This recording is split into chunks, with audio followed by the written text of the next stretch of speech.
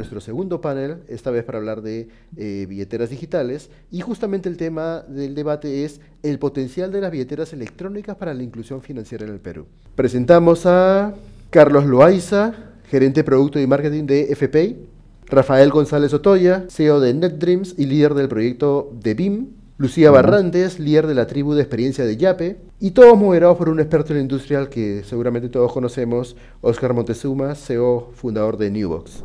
Y primero me gustaría eh, preguntarle a Rafael si podríamos hacer de repente una especie de rápido recuento de cómo es que ves la evolución de los medios de pago pandemia y pospandemia en el Perú. Lo que ha cambiado en la pandemia ha sido básicamente la forma en la que compramos. ¿De acuerdo? Mientras que antes de la pandemia era costumbre en Perú ir al mall, comprar era la principal forma de pago, hoy en día Internet se ha convertido en la principal forma de, de compras, ¿de acuerdo? Y al haber cambiado de hacer un mundo físico, de ir al mall, de ir a una galería comercial, a pasar a Internet como nuestra principal forma de pago, todos los medios de pago han evolucionado completamente. Antes de la pandemia, si uno ve estadísticas, que ni siquiera en el 2019 mencionaba las billeteras digitales, ¿no? Todavía estaba en 6.4, otras opciones. Sin embargo, hoy en día, en el último estudio que ha presentado Ipsos, ya las billeteras móviles son un 16% de los pagos, ¿de acuerdo? Siendo principal efectivo, obviamente, y como este estudio de Ipsos fue a principios de año, todavía la tarjeta de débito estaba en segundo lugar ahora mismo, al mes de octubre, ya la billetera digital ha superado incluso a la tarjeta de débito. Es decir, los usuarios se están empezando a acostumbrar a los pagos digitales, ¿de acuerdo? ¿Por qué usan una billetera móvil? Básicamente por dos cosas.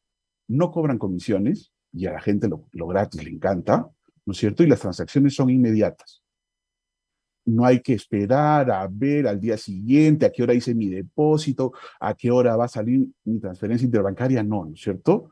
Inmediata. La inmediatez, entonces, y sin comisiones son dos cosas que valoran adecuadamente nuestros usuarios.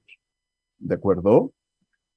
Y además, una de las cosas interesantes de las personas que todavía no estaban utilizando pagos móviles, más de la mitad de las personas está dispuesto a utilizarlo los próximos meses.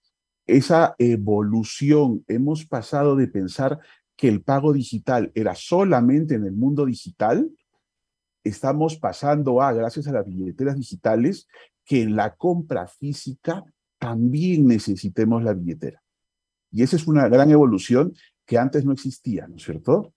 Esta evolución de las billeteras y la entrada de nuevos competidores está haciendo que todos hagamos mejores productos digitales para atender a nuestros usuarios y en el fondo todos estamos creciendo.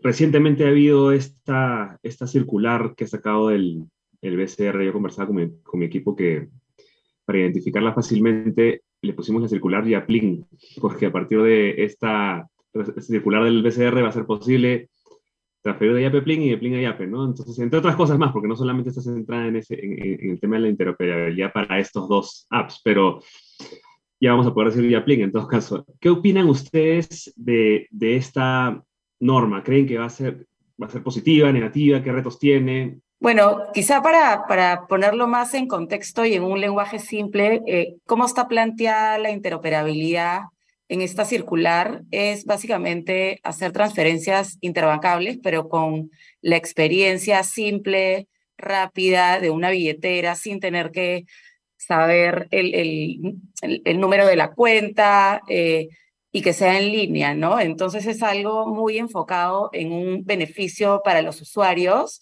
y, por supuesto, una ampliación del ecosistema. Entonces, esto es algo que nosotros vemos muy favorable, ¿no? Definitivamente es algo que ya se venía hablando desde hace un tiempo y conversando en las distintas, desde las distintas entidades, pero lo que ha hecho el Banco Central es ponerle una fecha, por cierto, cercana, así que eso es súper interesante y estamos eh, desde todos los frentes trabajando con grandes equipos para esto, ¿no? De cara al usuario, como digo, eh, me parece algo súper interesante porque además incluye a los pagos con QR que esto es algo también que ha incrementado en uso, se ha incrementado en uso en los últimos años. Eh, les puedo contar un poco desde YAPE, tenemos más de 2.5 millones de micronegocios que reciben pagos de forma muy sencilla, segura, sin la, necesidad de dar vuelto. Entonces, incluir esto también eh, consideramos que es algo interesante, ¿no? Pero de todas maneras, creemos que tenemos que seguir todos trabajando por mantener estos pagos con las características básicas, eh, porque son pagos que han fomentado mucho la inclusión financiera en los últimos años, ¿no? Entonces, tienen que seguir manteniendo su característica de seguridad. La seguridad es súper importante, tiene que ir ante todo. Seguir manteniendo confianza, eh, con temas que pueden parecer sutiles, pero desde IAPE siempre le hemos dado mucha importancia, como son, por ejemplo, temas de la comunicación. Nosotros hablamos en YAPE del tono yapero. Eh, cómo transmitir estos mensajes de forma sencilla, eh, súper transparente, con palabras que todos entiendan, colocados de una forma visual en los lugares adecuados para que todos sintamos que estamos hablando de forma súper transparente y esto continúe fomentando la inclusión, ¿no? Entonces, en síntesis, lo que, lo que yo eh, opino de la norma es que, por supuesto, va a continuar dinamizando la digitalización de los pagos, que han avanzado mucho eh, en los últimos años, eh, por supuesto también impulsados con la pandemia, pero siguen habiendo espacios para continuar fomentando esto, siguen habiendo zonas alejadas eh, o segmentos de usuarios que todavía no utilizan pagos digitales. Entonces, esta es una oportunidad para, para volverlos más atractivos y continuar incrementando también los casos de uso, ¿no? Así que lo vemos con mucho entusiasmo. Carlos, cómo, cómo ves el tema? Creo que en general eh, podemos decir que la interoperabilidad es, buena para el mercado. Hemos tenido interoperabilidades en, creo que en otros sectores, ahora estamos teniendo en el mundo de pagos y las billeteras, creo que en general es buena para el mercado. Se abren en verdad muchas oportunidades para los actores, tanto actuales como actores nuevos que puedan venir y sobre todo para los usuarios. Eh, considero que debemos ver esto con optimismo. El espíritu es poder brindar, la verdad, que soluciones a las necesidades de los clientes, ¿no? E ir eh, eh, en este camino y cómo los podemos ayudar. Eh, considero que se abren las puertas para que más personas se sumen justamente al ecosistema de pagos digitales, creo que lo, mencionaba Lucía, y, que aprovechen las bondades que la tecnología ofrece para facilitar la vida. Creo que esto va a democratizar mucho más el panorama y va a hacer que esto llegue a más personas. creo que de lo que tenemos que sí ocuparnos, los actores que estamos hoy día en el, en el mercado, es ofrecer soluciones con experiencias, digamos, que sean simples y que le den confianza al cliente. Estar en verdad disponibles para, para todos los segmentos o, perfiles de clientes, ya que cada uno tiene, la verdad, que diferentes necesidades. Y creo que, creo que esas tecnologías, si lo identificamos bien, pueden ayudar justamente a resolver esos problemas que hoy día los clientes este, como que enfrentan en, su día a día. Creo que si hacemos eso bien, la verdad que soy bien optimista de que esto traerá muchos beneficios para el mercado, para el cliente y, y para seguir democratizando el uso de los pagos digitales y para sumar más gente al ecosistema de pagos. Eh, me gustaría preguntarte un poco sobre el, sobre el, el, tema de la inclusión financiera que no hemos mencionado también en el panel. Eh, ¿Podemos hablar de inclusión financiera mediante el uso de medios de pago digitales cuando todavía hay una brecha digital grande en el, en el, en el, Perú? ¿Cómo es, ¿Cuál es tu, tu, punto de vista sobre el tema? Mira, cuando nos BIM empezó, estábamos hablando en el año 2016 de un Perú en el que menos del 40% de las personas estaban bancarizadas, donde solamente, donde solamente las principales ciudades tenían una conexión de Internet relativamente rápida. El 70% de las líneas eran prepago. Se empezó a crear la ley de dinero electrónico justamente para buscar y fomentar lo que tú mencionabas, ¿no es cierto? Que es el tema de la inclusión financiera. Yo creo que lo hemos más o menos ido consiguiendo cada vez más y cada vez mejor. Como mencionaba por ahí Josefina en el chat, una de las cosas importantes es cómo logran operar en ciudades fuera de las grandes capitales donde no tienes una buena conexión a Internet. ¿No es cierto? Entonces, la parte más técnica tiene que fijarse de que la transmisión de datos sea la mínimo, lo más usable. Durante mucho tiempo nosotros incluso hemos ayudado pagando el, consumo de Internet del usuario, es decir, que la persona no consuma sus datos al usar nuestra billetera electrónica. la inclusión no depende solo de las billeteras, hay un tema de infraestructura de comunicaciones, de equipos celulares, de tarifas. El camino digital ayuda a la inclusión financiera. Lo estamos haciendo desde todas las plataformas eh, de pagos digitales que conozco, con las que he trabajado, que he colaborado. Hay cosas como la interoperabilidad, por ejemplo, que ya estaban funcionando.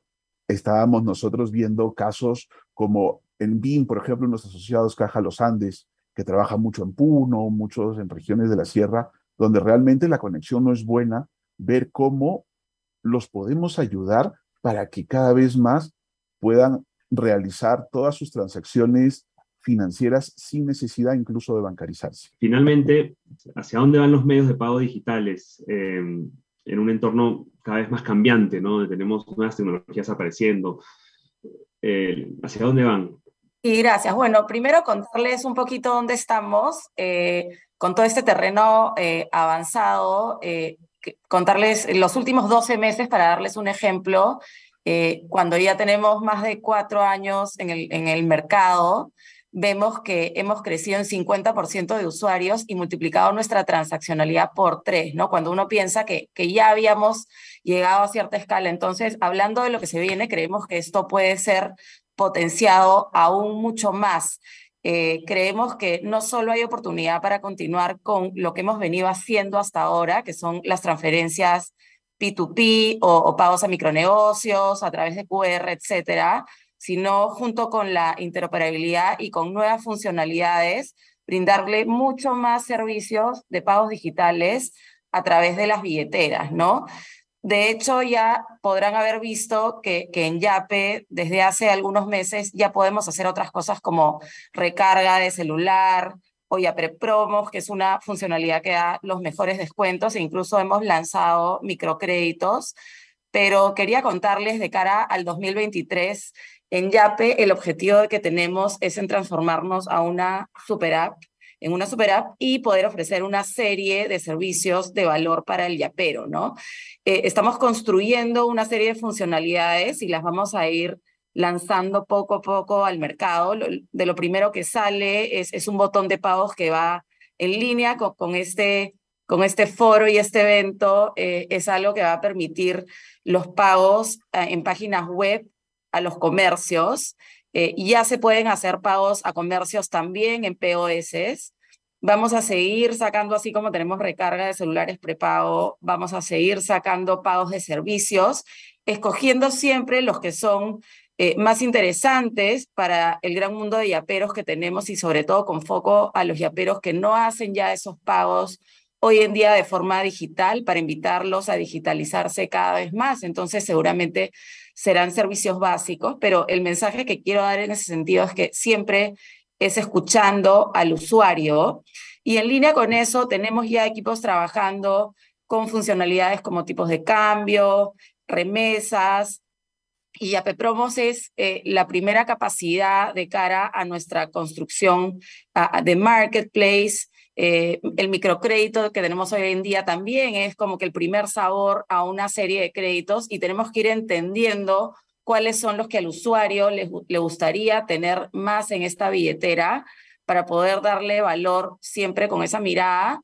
pero cuidamos mucho, como comenté en, en la pregunta anterior, eh, de que todo lo que lancemos siempre sea manteniendo esa experiencia sencilla, fácil, comunicación transparente y, por supuesto seguro, ¿no? Entonces, también mucho entusiasmo de cara a lo que se viene. Creemos que los pagos digitales, eso con seguridad ya están acá. Creemos que todavía hay más oportunidad, pero lo que toca es trabajar en darle nuevos sabores y nuevas oportunidades para continuar eh, expandiendo esto y seguir facilitando la vida de cara a, todos estos pagos a nuestros usuarios, ¿no? Digamos, pienso a veces en Yape y digo, ¿será posible que, que, se abra la posibilidad de integrar Yape, por ejemplo, con otras aplicaciones que existen, como por ejemplo, se me ocurre, no sé, quiero pagar por Rappi a través de Yape, o sea, ese tipo de, integraciones eh, serán posibles en, algún momento, no sé, de repente ya lo son, pero... Mira, las oportunidades son infinitas y, definitivamente nosotros eh, priorizamos estas soluciones de cara a lo que necesiten los usuarios. Entonces, yo no restringiría esto a nada y, la vía también, eh, o sea, comernos en el efectivo, eh, hacerle la guerra al cash y darle valor a, los yaperos y a los peruanos en general eh, es una es una aspiración muy grande y también creo en las alianzas para, para lograr eh, solucionar los problemas en el día a día y potenciar que los peruanos sigan avanzando, ¿no? Entonces, eh, no descartaría ninguna que, puedas tener en mente, la verdad. Este, y además todas las ideas son bienvenidas y nos, nos encanta escucharlas, ¿no? Genial. Bueno, ya para cerrar, Carlos, eh, cuéntanos tú cómo ves hacia dónde vamos. Perfecto. Creo, creo que podemos eh, abordar eh, la evolución de los pagos creo que en, dos etapas, ¿no? Hay una etapa actual eh, con la tecnología que ya tenemos y conocemos, y ahí creo que coincido mucho con, con, con, Lucía, o sea, creo que todavía hay mucho potencial para, para seguir creciendo. Creo que los pagos digitales tienen todavía bastante camino por recorrer y bastante penetración por, por, por tener en el, en el mercado local efectivamente hay un gran uso todavía del efectivo en el mercado, en el mercado local. Creo que es uno de los eh, principales medios de pago que tenemos todavía, así que hay bastante por ofrecer ahí y hay muchas cosas que se le pueden ir sumando al, al pago digital, ¿no? Eh, podemos sumarle, digamos, o sea, algo muy promocional, eh, se está hablando mucho de Buy Now, Pay Later, o sea, darle facilidades al cliente para que pueda acceder, darle acceso. Creo que la tecnología actual nos, permite, nos va a permitir hacer eso y como les digo, creo que en el mercado local hay mucho espacio para eso. Ahora, podemos verlo también en una segunda etapa. Hay nuevas tecnologías que están apareciendo, como la Web3, el blockchain y la criptomoneda, que hay un panel que se conversó sobre eso, que creo que, que en general acá el, el, concepto clave o lo que traen estas nuevas tecnologías es la descentralización. ¿no? Son tecnologías eh, relativamente nuevas eh, creo que tienen un potencial gigante realmente para revolucionar la forma como actualmente funcionan y se usan los pagos digitales. Eh, eh, creo que está todavía mucho en exploración. estas tecnologías van, creo que, en la dirección de darle más poder al usuario y justamente de liberar este potencial para que sea explotado ya no por, por, por conglomerados, sino por, por individuos. Y creo que ahí se puede generar un, un cambio muy potente en, en, el mercado y en el uso de los pagos digitales. hay diversos proyectos que están desarrollando, que tienen estas tecnologías como, como base, eh, pero considero que debemos en verdad ocuparnos en, en encontrar, eh, ¿cómo decirlo?, como realmente casos de uso relevantes para el mercado y para el cliente. Creo que, creo que las oportunidades son infinitas, pero tenemos que concentrarnos en cosas que realmente le solucionen la vida al cliente, ¿no? Tenemos que entender lo que el cliente necesita y ver cómo podemos realmente utilizar esas tecnologías para ofrecerle algo de valor, para simplificar la vida. Yo creo que esa es, esa es la esencia de lo, de lo que nos toca hacer y el rol que tenemos que, que cumplir. Eh, estoy seguro que aún no conocemos todo el potencial que hay detrás de esto y iremos explorando diferentes soluciones. Algunas seguro se van a quedar en experimentos, seguro otras verán la luz, pero lo que sí estoy seguro es que traerán cambios y, y como soy optimista, cambios para mejor para hacerle la vida más fácil al cliente y para sumar más personas al ecosistema de pagos digitales.